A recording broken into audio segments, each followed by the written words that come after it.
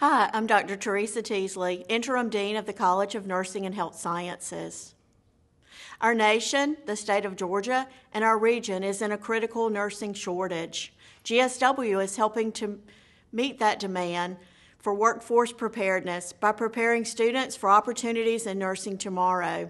GSW is helping to meet the workforce demands for nurses by adding our ASN program back, which is our Associate of Science in Nursing two year program. Georgia Southwestern had an ASN program until around 20 years ago when it, that program was closed. Based on requests from one of our clinical practice partners, the Phoebe Health System, GSW has brought back the Associate of Science degree in nursing to put nurses at the bedside in two years, a much quicker path than the four year bachelor's. Our Associate of Science nursing program targets non traditional students, offering close scheduling to allow them to complete class, clinical, and work. We're also expanding seats in our Bachelor of Science degree program.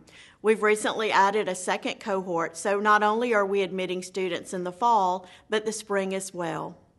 We have open and frequent dialogue with our clinical practice partners so we can stay up to date on what's needed in the workforce.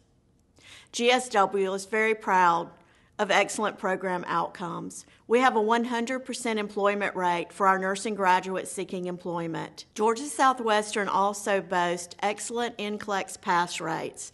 Our 2023 rate was 97%, and we constantly rank in the top in the state for our NCLEX pass rate.